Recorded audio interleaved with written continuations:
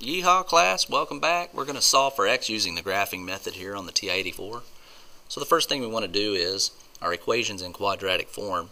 Let's go ahead and type that 5x squared plus 4x minus 5 into the y equals of our calculator. And the goal today is to get the calculator to figure out where this parabola crosses the x-axis. And where that occurs, those are going to be my answers for x when we set this equal to 0.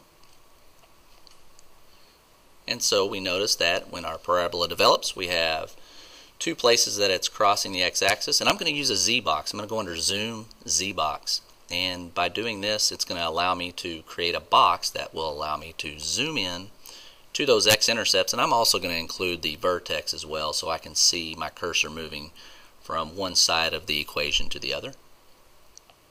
And so the first thing I'm going to do is I'm going to tell the calculator to calculate that left x-intercept because where the parabola crosses the x-axis, those are my values of x, or those are in other words called the zeros or roots.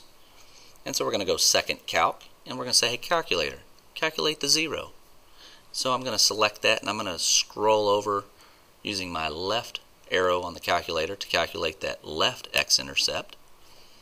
And it's asking you to get to the left bound of it, so I get above it, get to the right bound, below, take a guess where you think it's at and we get an answer of about negative 1.48.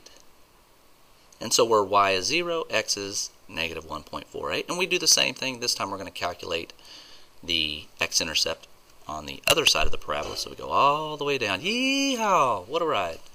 Get to the left bound, which is below. Get to the right bound, which is above. And take a guess. And where y is 0, we get another answer of x equals about 0.68. Enjoy.